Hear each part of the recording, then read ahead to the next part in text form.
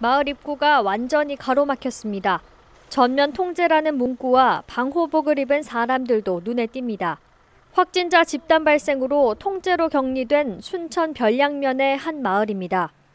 19일 오전까지 이 마을에서만 모두 10명이 확진됐습니다.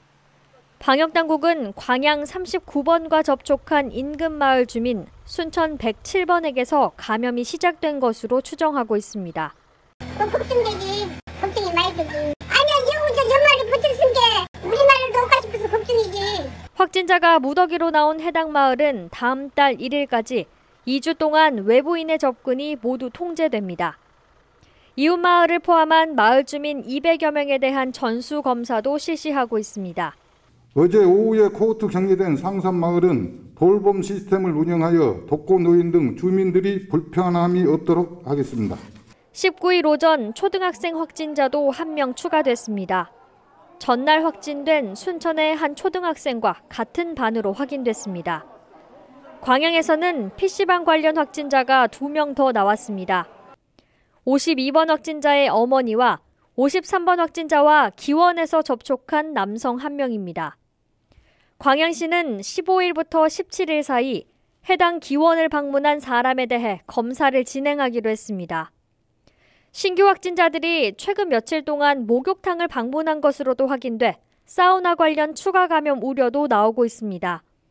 보건당국이 확인한 방문자만 100여 명이 넘습니다. 광양 54번 확진자 후 주요 동선은 11월 16일, 17일, 18일 8시부터 8시 30분까지 간야구 소재 쌍마탕을 방문하였습니다. 간양 55번 확진자 후 현재 확인된 동선은 11월 16일, 17일, 17일 10시 30분까지 11시 30분까지 관야국 소재 백운탕을 방문했습니다. 이처럼 사회적 거리두기 조치 격상 뒤에도 확진자가 속출하고 있습니다. 지난 여름 유행 때와 비교해보면 확산 속도도 빠릅니다. 지난 8월 약 2주 동안 순천과 광양에서 확진자가 각각 60명, 14명 발생했는데 최근 2주 동안의 추이를 보면 순천은 58명으로 비슷한 수준이고 광양은 32명으로 지난 여름 같은 기간보다 2배 넘게 많이 나오고 있습니다. 19일 오전 기준 순천과 광양의 누적 확진자는 186명, 어느새 200명대를 코앞에 두고 있습니다. 헬로티비 뉴스 김신혜입니다.